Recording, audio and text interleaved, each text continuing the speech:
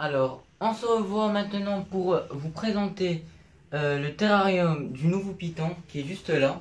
Alors, comme vous voyez, c'est un terrarium 100% euh, fait à la main. J'ai prévu une petite porte coulisse que, j'ai faite ici, voilà, Et en haut, il y a une petite grille d'aération. Et puis il y a des vitres et tout, comme euh, dans tous les terrariums. Alors, voilà, voici le fameux Python. C'est un albinos. Et il, y a, il vient de manger une souris qui est, attendez, juste là.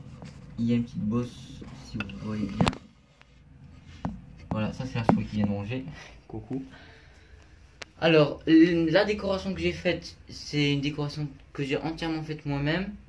Euh, pour l'instant, j'ai mis du sopalin, du, du sopalin en attendant de mettre des copeaux de coco parce que j'en ai plus.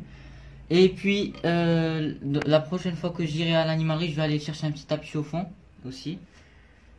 Parce que la, dernière fois, j'en ai pas trouvé. Alors voilà, c'est tout pour euh, le piton le piton moulure. Alors comme vous voyez son terrarium, il est juste en, dessus du terrarium de mon piton Régus et de mon iguane. Mon Régus en train de, qui est en train de muer, vous n'avez pas trop de chance parce que vous n'allez pas voir ses couleurs. Voilà. Malgré qu'il mue, il est assez calme. Attendez, je vais vous le faire sortir.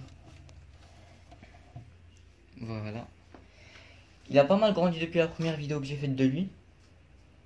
Devenu, il a bien grossi, il a bien grandi. Voilà. Alors lui aussi je lui ai mis du, du sopalin parce que j'ai plus de copeaux de coco. Voilà. Et lui par contre il a un tapis chauffant, bien sûr. Voilà le tapis chauffant.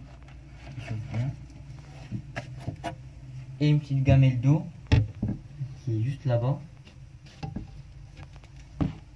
Et une petite branche et un petit crâne. Un crâne de je crois. une petite décoration. Alors voilà pour le. Et puis il y a une petite lampe, j'ai oublié de préciser. Il y a une, petite... il euh, lampe, question de luminosité, et une petite aération. Juste en dessous, il y a le grand terrarium de l'iguane. Alors, dans ce terrarium, lui aussi il est 100% fait à la main. Voilà, ça c'est le fond aussi fait à la main, tout est fait à la main. Alors ici j'ai mis une petite lampe pour euh, chauffer un peu. Ici il y a une branche que j'ai collée dans le fond du terrarium. Ici on peut planter des petites plantes mais j'en ai toujours pas mis. Ici et puis aussi ici. Ici, voilà. Ici, une petite pierre blanche. Euh, euh, ici, une petite décoration, une petite branche avec euh, un hibou sculpté à l'intérieur. Je trouve ça très joli. Sa petite télé qui est éteinte maintenant, actuellement, parce que, c'est la nuit. Et une petite fontaine. Attendez, je vais vous l'allumer. Voilà.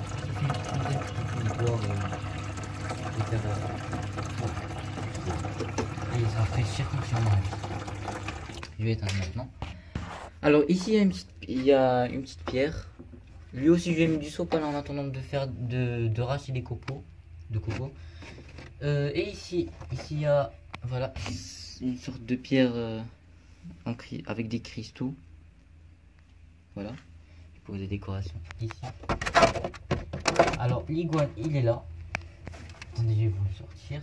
Lui, il est assez docile, il se laisse bien faire. Alors le voilà. Il s'appelle Godzilla. Enfin, elle.